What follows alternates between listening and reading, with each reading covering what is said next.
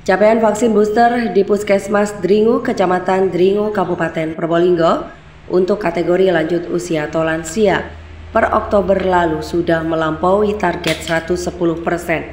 Capaian itu berkat program Puskesmas yang melibatkan pemerintah desa di kecamatan setempat. Di Kecamatan Dringu, vaksinasi dibuka di desa-desa. Masing-masing desa bisa melayani vaksin. Petugas Puskesmas juga datang ke rumah-rumah warga Khusus lansia, Puskesmas membuat program bagi sembako. Akhirnya warga tertarik untuk vaksin. Namun kini warga sudah tidak perlu diiming-imingi sembako lagi untuk vaksin. Masyarakat di Kecamatan Dringu sudah antusias vaksin. Bahkan mereka rela datang sendiri. Ada yang langsung datang ke puskesmas, ada pula yang datang ke mal pelayanan publik.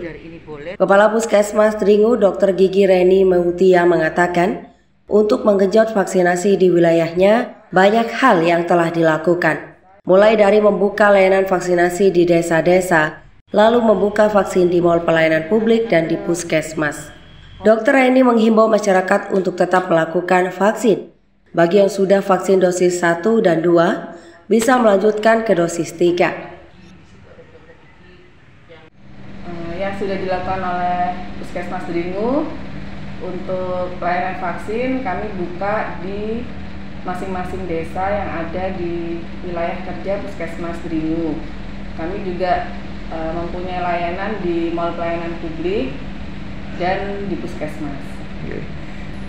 Untuk masyarakat e, khususnya yang termasuk sasaran vaksin yang sudah lengkap dosis 1 dan 2 ayo segera melakukan vaksin booster sehingga pandemi ini bisa terlewati dengan baik. Sementara Koordinator Imunisasi Puskesmas Dringu, Zahroitul Aziza menambahkan, banyak yang dilakukan mulai pandemi hingga hari ini.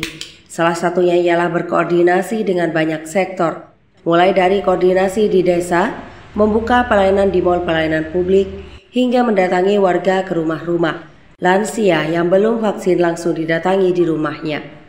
Program lainnya ialah membagikan sembako bagi lansia. Lewat program itu warga akhirnya tertarik untuk vaksin. Saat ini masyarakat sangat antusias tidak perlu diiming-imingi lagi. Terlebih karena ibadah umroh mulai dibuka lagi. Sebenarnya sudah banyak yang kita lakukan mas mulai dari awal pandemi sampai sekarang ya Eh, kita itu sudah mencanangkan banyak sekali seperti inovasi-inovasi buat mensukseskan vaksinasi. Contohnya eh, kita melakukan sweeping, terus kita eh, memberikan sembako, terus kita juga koordinasi dengan lintas sektor seperti itu. Jadi sudah banyak pihak yang sudah membantu kita dalam mensukseskan vaksinasi. Contohnya saja di desa-desa, di desa-desa semua desa itu melakukan vaksinasi, mas membuka vaksinasi mulai dari pagi uh, sore pun ada yang mereka janjian dengan pasien mereka seperti itu. Tidak hanya pagi saja. Kemudian uh, dulu kita juga mencanangkan bantuan buat booster lansia agar mereka itu tertarik bagaimana uh, cara mereka buat uh, vaksin booster tersebut seperti itu. Terus kemudian ada juga yang di MPP di MPP itu e, tidak hanya pegawainya FPP karyawan FPP saja yang melakukan vaksinasi tetapi keluarganya juga ada sampai yang janjian di sana mas terus di puskesmas juga kita melakukan vaksinasi. Jadi tidak hanya e, apa namanya warga sini saja warga puskesmas dirinya saja tetapi dari kota pun banyak yang ke sini seperti itu. Apalagi yang sekarang kan banyak yang mencanangkan seperti umroh seperti itu kan. E, jadi antusiasnya orang-orang untuk booster tuh sudah tidak apa ya namanya sudah tidak diiming-imingi lagi tapi mereka datang ke sini sesuai dengan keinginan mereka untuk booster. Sementara dari pantauan Tada Today TV pada Jumat 4 November 2022 lalu, masyarakat melakukan vaksin di Puskesmas Dringu. Sebagian vaksin dilakukan karena hendak melakukan perjalanan keluar kota. Sebagian besar lainnya memang rela divaksin karena ingin melindungi diri dari virus. Budi Santoso, salah satu warga Dringu peserta vaksin mengatakan dirinya mengakses layanan vaksinasi untuk mendukung pekerjaannya. Ia hendak melakukan perjalanan ke luar kota. Ya, kenapa kok vaksin? Sering keluar kota gitu. Oh, sering keluar kota. Berarti ya. vaksin ini untuk luar kota ya? Iya. Oke. Okay. Himbauan untuk masyarakat, Pak.